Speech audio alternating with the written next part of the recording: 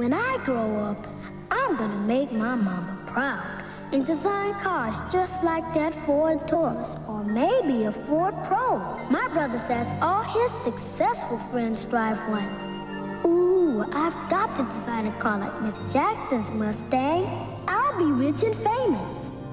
That's not supposed to be a car, is it? oh well, back to the drawing board.